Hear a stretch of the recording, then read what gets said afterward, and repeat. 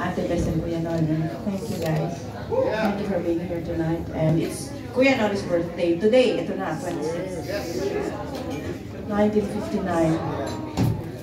And uh, I would like to apologize. I cannot sing tonight. I choose not to sing because I'm feeling really bad about it. Uh, my, although I'm drinking right now because I feel nervous and uh, at libre.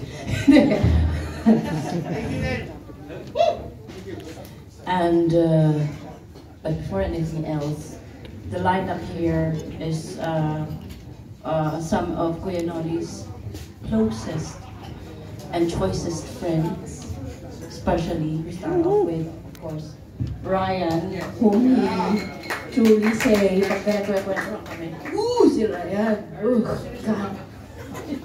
Wakil. What?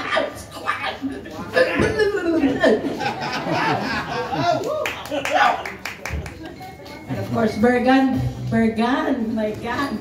Alam nyo, talagang ma- may, kat, may, kat, may kadugtong si Bergan. Eh. Mamaya, i- i- i- i- introduce ko ulit si Bergan. And of course, yung isa pang kalaguyo ni Kuya Noling lalaki. Dalawa yan. Yung isa matagal na talagang long relationship. Na hindi pinagsasalosan ni Ate Bessie. Si Rani yun. Yung pangalawa, eh, eh, yung ano, boss namin, at saka yung isang kalaguyo niya, si Nelson, ang ating kailan. Ang nagtitiis sa aming mga blues at kakalokohan. And of course, sabi ko nga sa inyo, isa sa pinakamagaling na bassist sa jazz, mga young blood. Si. Yan, ganyan! Ganyan. And tonight, whom I asked a big favor from early this evening because my my my teeth are falling off. I don't know why. And I'm quite nervous and I'm quite conscious. I've been like this for several months already and uh, I'm always nervous. And um, it's a wonderful thing na pinagbigyan niya ako the last minute. Sabi ko, sino pa ba yung isang favorite na lagi sinasabi ni Kuya Noli na, uh, wag ka ganyan ah. I-introduce ko muna yung isang napakahusay na jazz singer. Her name is Faye Pano.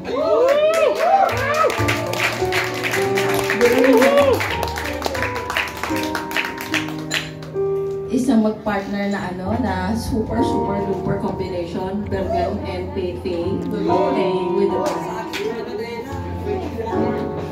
And um, I'm here tonight because I'm here tonight because I cannot miss this for anything in this world. We've been looking forward to this for months.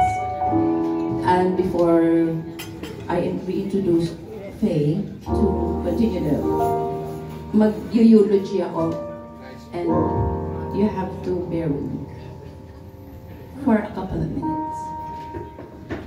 Thing is, I'm so grateful na nandun na sa langit si Kuya.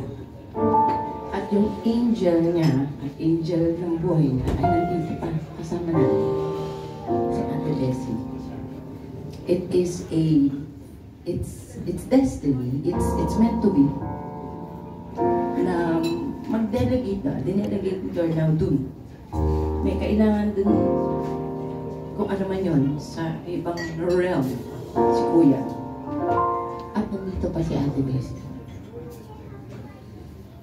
Hindi tayo dapat malungkot. Dahil nandito si Ate.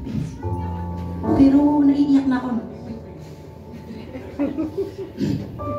si Ate Bessie at si Kuya Noli ay isa. Inseparable yan. So, nandito din si Kuya Noli. For months. Sabi ko kay Ate Bessie, be strong. Kasi nandito kami. Kumukuha din ng saya at doon sa lungkot na nararamdaman namin, dahil wala si Kuya, nandito ka, masaya kami.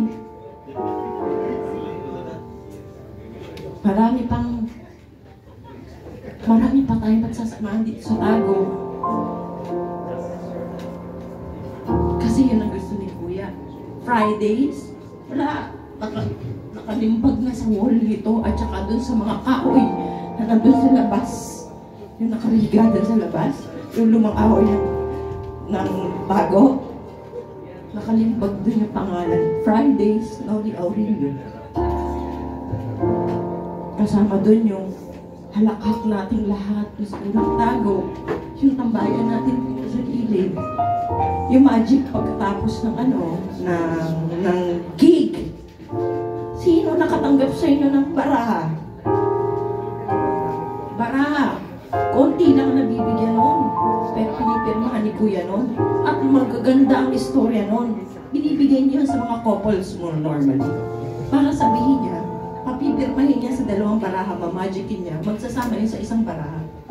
At ang wish niya sa atin, dun sa taong binibigyan niya ng gift na yun, habang buhay kayo magsasama. Dahil ito yung testament, testament, testament long partnership niyo, mamahalin. At bibigyan niyo yun ba? Meron kang mga, meron iba sa inyo nun. At itago niyo yun. Ang isang bagay pa, alam niyo ba yung mga salita ni Kuya Noli? Aw-aw! Ano yung dalawang aw-aw? Para mabuhay yan eh. Parang aloha, mabuhay. Maraming meanings yan. Ang aw-aw, happy tayo lahat. Ang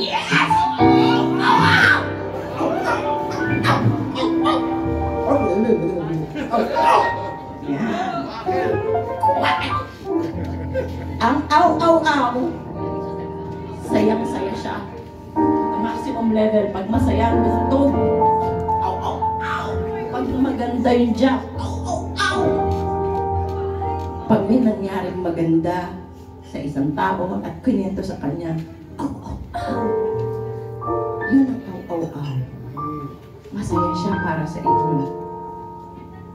Ang squawkle, What else? What else? At ilan sa inyo ang nakakaintindi nun? At kahit hindi niya naintindihan, kung nakita niyo si Noli Aurelio, ramdam niya na agad na yung alien talk niya, ang ibig sabihin nun, galing mo pare, ang galing mo, ang saya natin, this is the best, this is the now. Yung sinasabi ni Rani, ito yung ngayon. Ang saya-saya ngayon. Bukas is another thing. It's another day. At kaya ang Tago Jazz, kasama ng ibang mga artist dito, may spirit Bubuhayin natin yung spiritong yun at dito-dito magkikita-kita tayo kahit ang mga supporters ng jazz ay kakarampot. At hindi lang jazz or ang pwedeng pumunta dito. Lahat ay welcome dito. Pero mas maganda kung mag-enjoy din talaga sila sa music.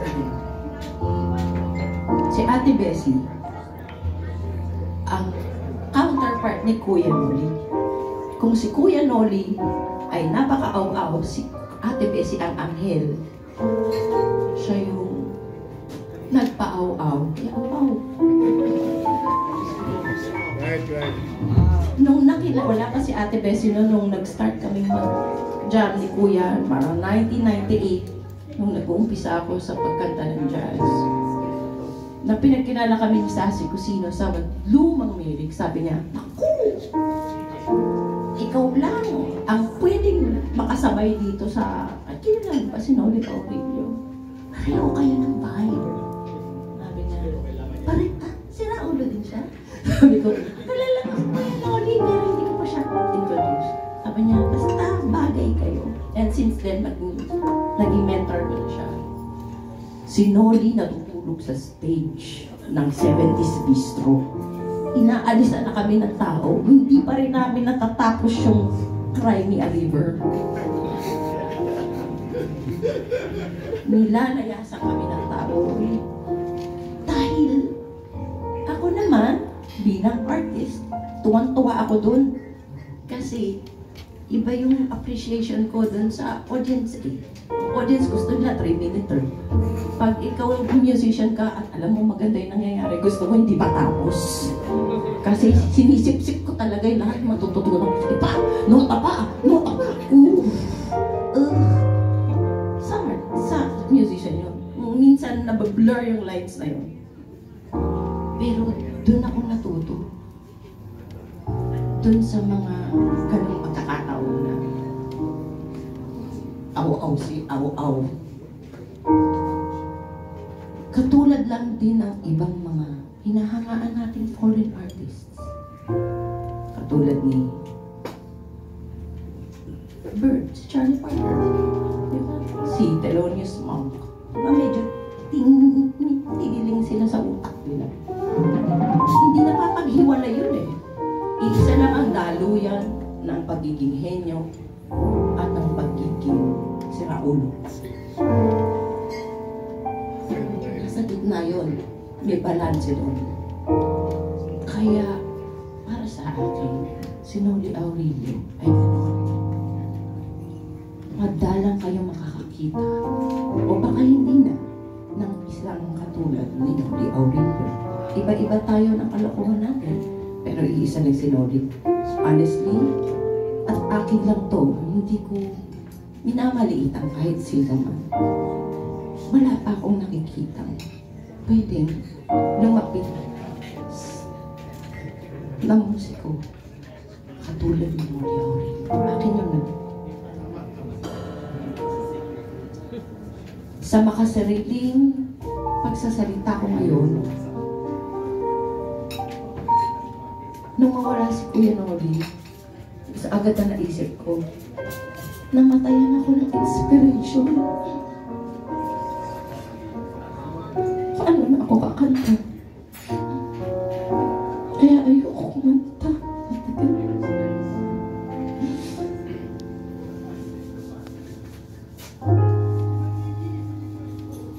Dumating ako sa pagkakataon si Janice ako, si Kuya Noli, sa papelya burat na burat ako dun sa ginagawa ko. Kanta na lang ako na kanta ng mga request. Ayoko lang ito. Hihirahin ako din na uli sa gilid. Nay! Nangyari din sa akin yan. Anong gagawin mo pag wala kang music? Babalik ka rin naman, di ba? Yung request na yan, ano ba gusto mong gawin ko para magustuhan mo kumanta ng request? Sige, pali-pare natin. Kaya sa gitna ng mga kumakain na hindi nakikinig mo audience, yung wallpaper kami, magrarambulan kami dun sa mga areglo ng mga kanta. Kumakanta kami ng Pink Floyd, na meron tula-tula. Habang kumakain sila at nag-wine, hindi nila napapansin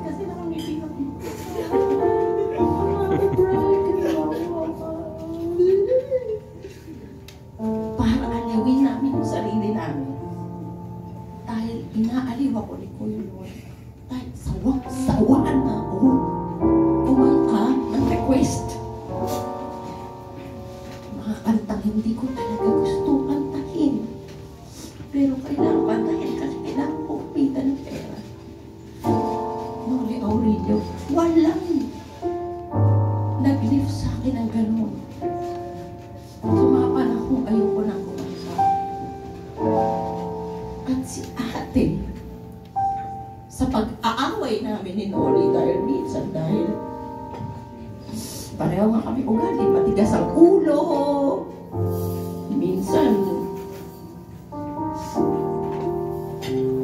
matigas ang ulo. matigas talaga ang ulo. At saka hindi, hindi mapigil yung bunga ka minsan kung baka pang comment.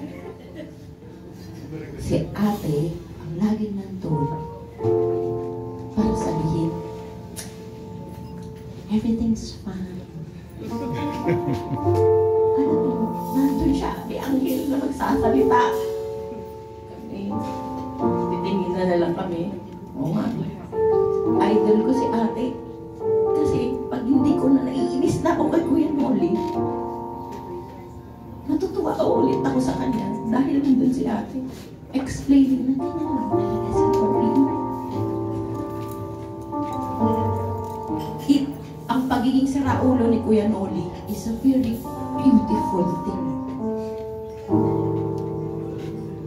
Konti lang sa inyo yung makaka-relate dito. Sorry dun sa mga audience ah. Yung genius niya ay kakaiba. Marami na ako nakatrabaho. Pati mga foreigners. Siguro, ang katapat ni Noli dito, nasa ibang bansa.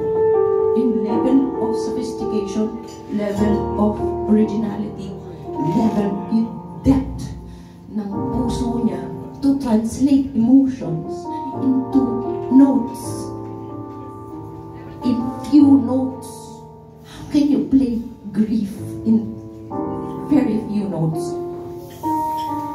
Sino rin ang nakakagawa nun? Few notes. Hindi kailangan ng marami. Few notes. Favorite namin yan, ang katagyan. Gusto namin si Michelle Legrand. Gustong gusto namin yung mga rock na pinagbabali-bali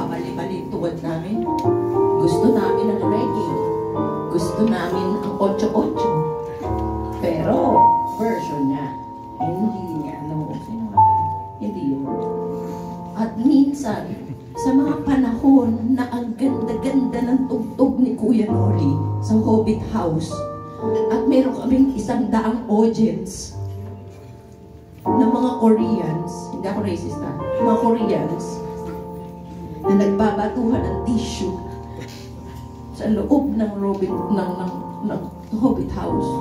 At ako lang ang nakikinig at ang brown beat doon sa may bar. Ang gagawin ni Noli, matutuwa siya. Tutugtog siya. Niya yung gitara niya. Tapos mag mag-air guitar siya.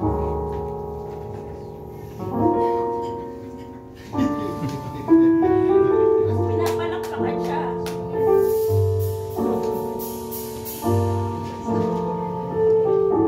They missed those people who didn't listen, who didn't give a shit, missed golden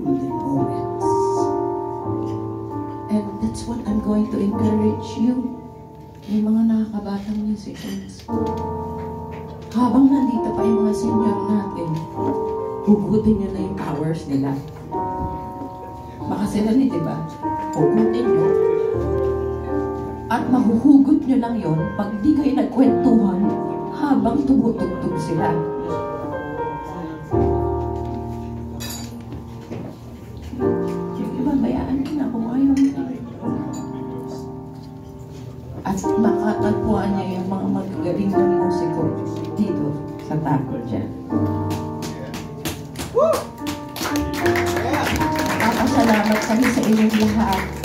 Si Nelson lalo lalo yun. Sa pagtangkilik at padamihin pa natin tayo. Hindi totoo na para sa matalino lang o mayaman lang ang chance. Kasi anong ginagawa ko dito? Kung pang ganun lang yun, napaka-jologs ko kayo. At saka pang rock talaga ang impluensya ko. Para sa'yo, Ate Bessie, mahal na mahal ka namin. At habang nandyan ka, gusto namin maging masaya ka.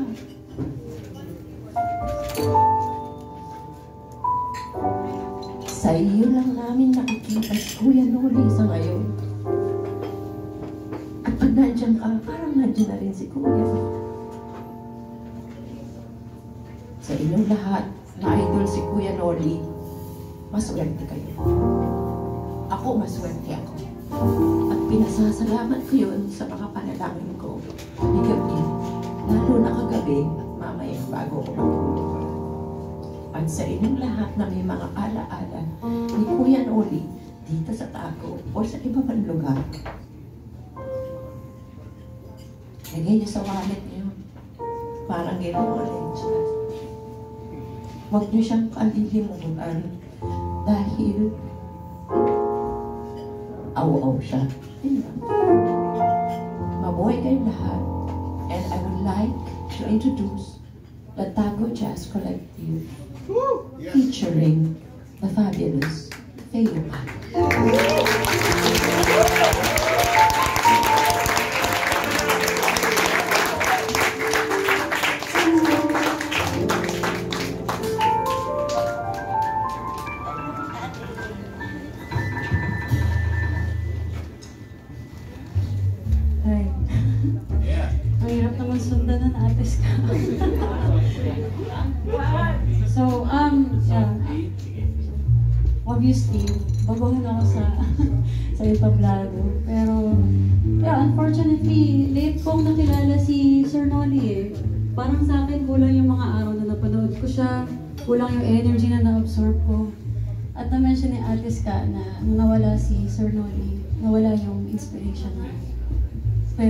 Yun sa kukonting mga tao natitira na nakilala si Sir Nolly ng malalim, sila yung makakapagpinta ulit ng portrait ni Sir Nolly. Kasi alam niyo yung bawat linya ng mata niya, alam niyo yung hugis ng ilong niya, yung ugat sa kamay niya.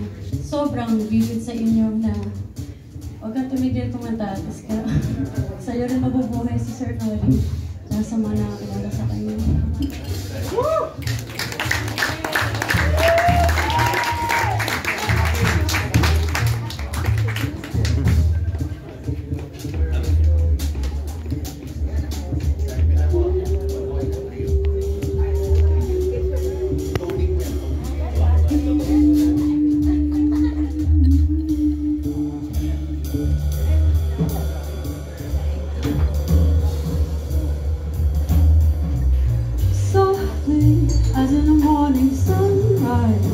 lot of love comes to you into